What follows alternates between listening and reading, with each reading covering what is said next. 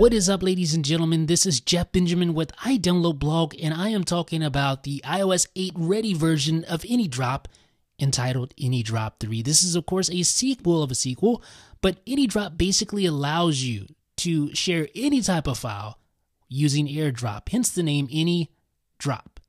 Any file, AirDrop. You got it? Pretty simple, right?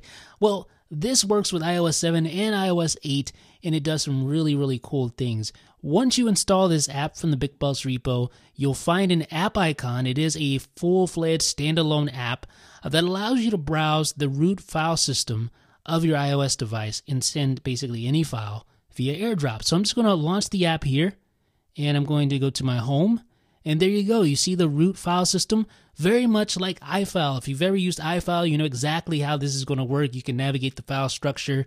Uh, for instance, I'm going to go to my documents folder. Now I see a couple of files out there already. There's two deb files. I can send those to my Mac and I can also send them to my iPhone if I want to do that just by tapping the little info button. And there is the share interface, and you can see my AirDrop or my AirDrop compatible devices there uh, come up and they're available. So now I can just tap on, for instance, if I want to send this to my iPhone, just tap on Jeff's iPhone and it's waiting. And there it goes. There's the invitation to accept. I'm going to accept on the iPhone.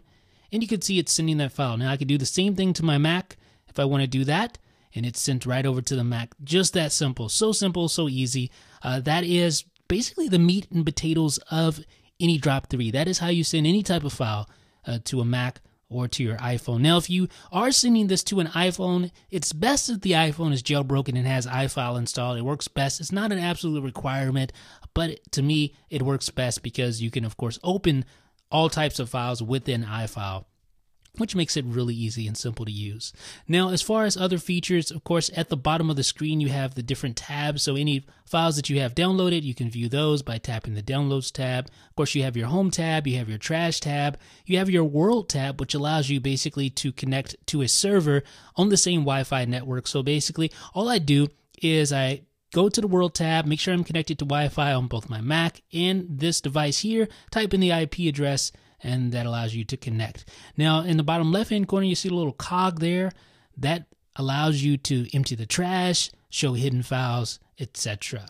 So there's two additional features I want to talk about. Well, I'll talk about them really briefly, especially the first one. The first one is YouTube compatibility, and I'll just leave it at that because YouTube doesn't like you to talk about YouTube stuff with these types of videos. So I'll just leave it at that.